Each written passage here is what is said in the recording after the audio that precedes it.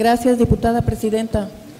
Amigos de los medios de comunicación, amigos, compañeros diputados, mi intervención es solamente para hacer un exhorto y recordatorio, una gran invitación a todos ustedes a que nos acompañen mañana al evento Bécate, que será en las instalaciones del Palacio Legislativo, aquí en este edificio, que es un esfuerzo que ha venido haciendo el Congreso del Estado con un convenio con 37 instituciones de educación privada para ofertar becas a los jóvenes para los estudios de todos los niveles, primaria, secundaria, preparatoria, carreras, eh, maestrías y doctorados.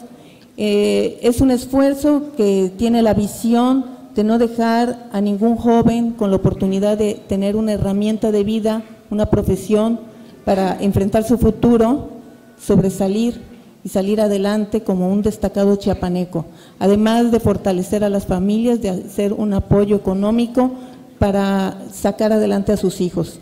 Eh, esta es una invitación a todos ustedes a que nos acompañen los medios a ser parte de este evento. Tendremos conferencistas que alentarán a los jóvenes y ayudarán a encontrar su vocación profesional. Será un evento en el que todos somos partes. Invito a que extiendan esta, eh, este mensaje a, a, sus distritos y que nos acompañen mañana. Eso es todo, diputada presidenta. Gracias.